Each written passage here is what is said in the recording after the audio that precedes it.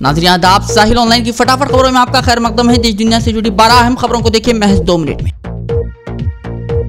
کرناٹکا حکومت کے خلاف جاری چارج شیٹ میں بی جے پی نے کی بڑی غلطی۔ چارج شیٹ میں نیپال اور میزورام کی کچرا نکاسی اور سڑکوں کی بدحالی کی تصویروں کو بتایا۔ بنگلور کی تصاویر جھوٹ پھیلا کر انتخابی مہم چلانے کا بی جے پی پر لگایا جا رہا الزام۔ راجستھان کے الور میں کھیلی گئی خون کی ہولی۔ ہولی کے دوران ایک دلت نوجوان کو پیٹ پیٹ کر کیا گیا۔ ہلاک محلوک کے رشتہ داروں نے سڑک اور ہاسپٹل میں کیا ہنگامہ۔ تریپورا اور ناگالینڈ انتخابات میں بی جے پی اتحاد کو حاصل ہوئی سبقت، بہترین مظاہرے پر بی جے پی حامیوں نے منایا جشن بائیں بازو کے ہاتھ سے چھوٹتا نظر آ رہا ایک اور قلعہ۔ تریپورا میں بی جے پی کی سبقت پر مرکزی وزیر روی شنکر پرساد نے دیا بیان، کہا کانگریس مکت بھارت کے ساتھ ہی اب کیا جائے گا، لیفٹ مکت بھارت۔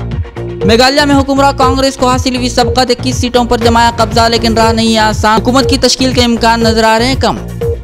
نیشنل پیپل پارٹی نے اقتدار حاصل ہونے کی جتائی امید این پی پی کو ملی انیس نشستیں، جبکہ دیگر سولہ نشستوں پر جمایا قبضہ۔ سی سنگما نے کہا، دیگر پارٹیوں کے ساتھ مل کر تشکیل دیں گے حکومت۔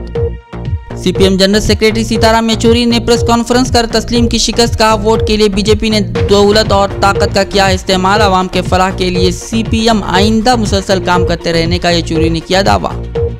ہندوستان کا ویتنام کے ساتھ دفاعی تعلقات مزید مستحکم کرنے پر ہوا اتفاق، نئی دلی میں ویتنامی صدر اور وزیر اعظم مودی کے بیچ ہوئے مذاکرات۔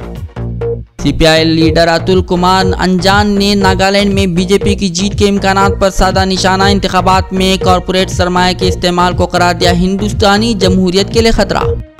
عمر قید کی سزا کاٹ رہے قیدیوں کی پیرول پر رہائی کے لیے جمعیت علماء کی جاری ہے کوشش۔ پہلے مرحلے میں دس قیدیوں کے لیے عدلیہ اور انتظامیہ سے کیا جا رہا ہے رجوع۔ جمعیت علماء مہاراشٹر قانونی امداد کمیٹی کے سربراہ گلزار اعظمی نے پریس ریلیز کر دی جانکاری۔